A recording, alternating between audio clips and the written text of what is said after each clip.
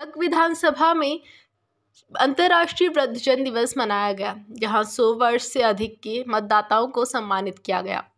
डग विधानसभा में एक अक्टूबर को अंतर्राष्ट्रीय वृद्धजन दिवस मनाया गया, जिसमें निर्वाचक रजिस्ट्रीकरण अधिकारी कमल कुमार मीणा के निर्देशन में 100 वर्ष से अधिक के मतदाताओं को सहायक निर्वाचक रजिस्ट्रीकरण सत्यनारायण नरवरिया द्वारा सम्मानित किया गया।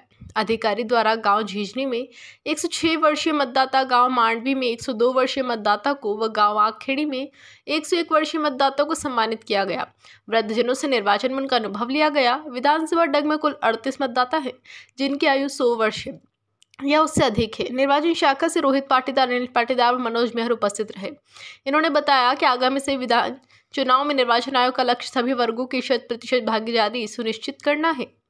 बीपीए न्यूज़ संवाददाता किशोर तंवर की रिपोर्ट डग झालावाड़ राजस्थान से खबर।